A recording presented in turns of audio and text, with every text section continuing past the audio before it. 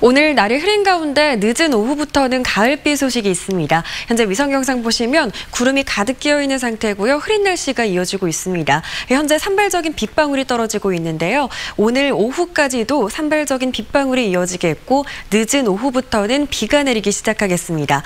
전남 해안 지역부터 시작된 비는 점차 광주 전남 모든 지역으로 확대되겠고요. 내일 새벽까지 5에서 40mm 가량의 비가 내릴 것으로 예상됩니다. 흐린 날씨가 이어지면서 날은 더 선선해지겠습니다. 광주의 아침 기온 20도 안팎으로 어제와 비슷하게 시작했는데요. 한낮 기온은 26도로 어제보다 2도가량 낮을 것으로 예상됩니다. 그 밖의 지역도 선선한 날씨가 이어지겠습니다. 영광의 낮 기온 27도, 나주의 낮 기온은 26도로 예상됩니다. 목포의 낮 기온 26도, 완도와 장흥의 낮 기온은 25도로 예상됩니다. 순천의 낮 기온은 26도 안팎으로 예상됩니다. 바다의 물결은 최고 1.5m에서 2m로 일겠습니다. 있습니다. 내일까지 비가 내리고 나면 이후로는 가끔 구름 많은 가운데 선선한 가을 날이 이어지겠습니다. 날씨 정보였습니다.